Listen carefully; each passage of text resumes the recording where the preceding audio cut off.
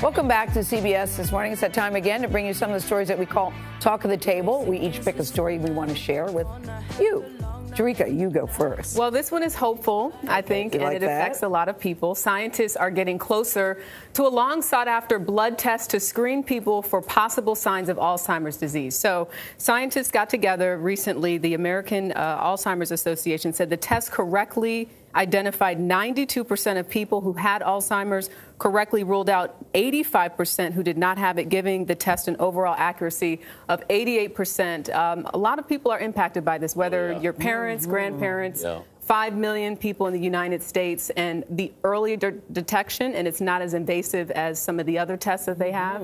It means that, you know, maybe a longer life uh, and also stopping the disease from sort of spreading the way that it, Yeah. it can. So encouraging, and it Yeah. can't come soon enough. That's Exactly. A so lot of true. people worry about it. I like that.